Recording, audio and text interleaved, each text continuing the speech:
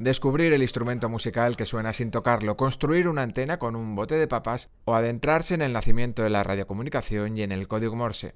Todo ello y mucho más es posible gracias a las telecochips de la Escuela Técnica Superior de Ingeniería de Telecomunicación de la Universidad Politécnica de Valencia, que celebró una nueva edición de esta iniciativa a finales del pasado mes de diciembre. Las telecochips son una actividad que llevamos muchos años haciendo, haciendo en la escuela. La idea pues, es poder ofrecer talleres divulgativos sobre telecomunicación principalmente a alumnos de secundaria y de bachillerato. Son talleres muy interesantes para ellos, son formativos, son, eh, se lo pasan también bien, que esa es un poco también la idea.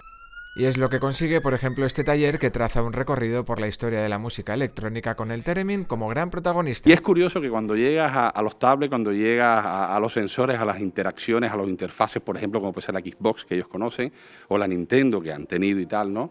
La Wii, por ejemplo, ¿no? O ya más quizás más, eh, más actualmente, ¿no? Superficies de control para producir sonido a través del ordenador, siempre le fascina el Teremin. Es increíble, o sea, porque es tan curioso, ¿no? Y aparte es tan disruptivo, ¿no? Es decir, la cosa gestual como tal, que empezó en el año 19 con la propuesta del F-Terme, de León Terme, no se retoma hasta prácticamente ya iniciado el siglo XXI, cuando aparece, por ejemplo, la Xbox, ¿no? O incluso la en este otro, los alumnos y alumnas aprenden qué son las antenas, pueden crear su propia antena casera y comprobar cómo han ido evolucionando, por ejemplo, las de los móviles.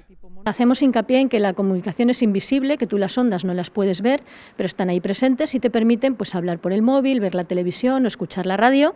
Y les explicamos cómo los ingenieros de Teleco desarrollamos antenas o otros dispositivos que nos permiten captar esas ondas y transmitir y convertirlas en imágenes o sonidos. Les enseño la evolución desde el primer teléfono que yo tuve, que era muy grande, a los actuales, van viendo las antenas, cómo han ido evolucionando y que actualmente ya no se ven porque están dentro del terminal, pero que los teléfonos actuales llevan hasta seis o siete antenas integradas y eso les gusta mucho verlo. Mientras, el taller de radiocomunicaciones desvela todos los secretos de la telegrafía. Yo les doy un taller sobre los inicios de la radio, el nacimiento de la telecomunicación mediante el telégrafo y, y la radiotelegrafía. Les enseño el montaje de un pequeño oscilador con el que se puede hacer transmitir señales telegráficas a muy corta distancia y practicamos un poco el morse así de manera lúdica. Las jornadas se completan con una visita al Museo de Telecomunicación, todo ello enmarcado dentro de las actividades del proyecto Erasmus Plus Innosid, entre cuyos socios se encuentra la Escuela Técnica Superior de Ingeniería de Telecomunicación